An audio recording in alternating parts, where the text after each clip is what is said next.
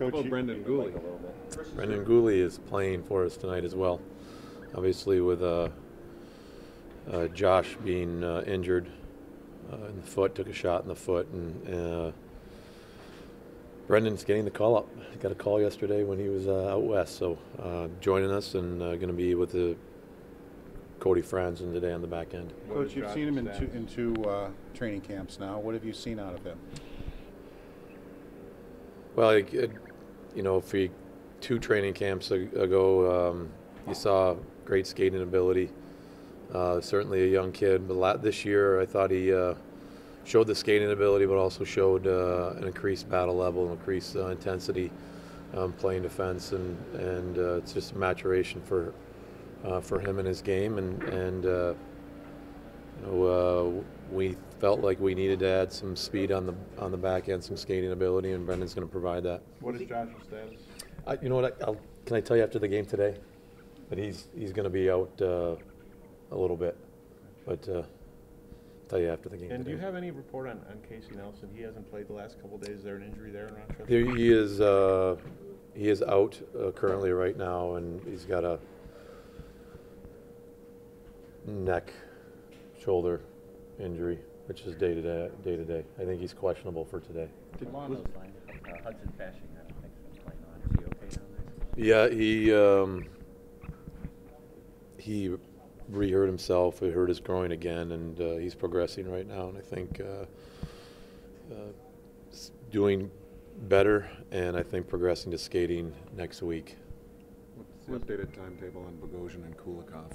Um, Kulikov is uh, now skated two days with some physicality, and, and now been skating for seven days. Um, so I think uh, hopefully that means we'll see him in practice soon in the next uh, week. Hopefully, um, Zach is, you know, probably uh, still in the ten day to two week time frame for Zach. You're certainly thin on defense. I mean, but it's early December. I mean, how tenuous a position is this for the organization on that blue line right now? You're confident in Guhle, but I mean, this is really getting thin here. Well, a little bit, uh, you know, the, the shot situation, the left shot, right shot. Uh, I think we feel like we uh, have some players in Bergdorfer to call up in a, a right shot situation. And, um, you know, I think just uh, the, the left shot was a important decision when, when uh, calling up Brendan.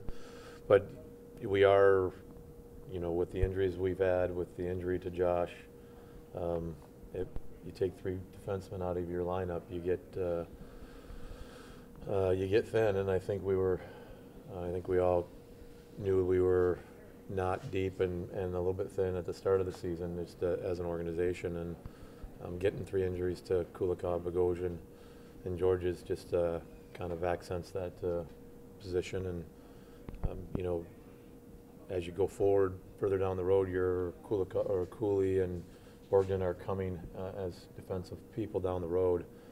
But uh, with the injuries we've gotten, it just uh, accents that, uh, you know, our depth at defense. Was Coach, Brendan close to making it out of camp? It seemed like he was.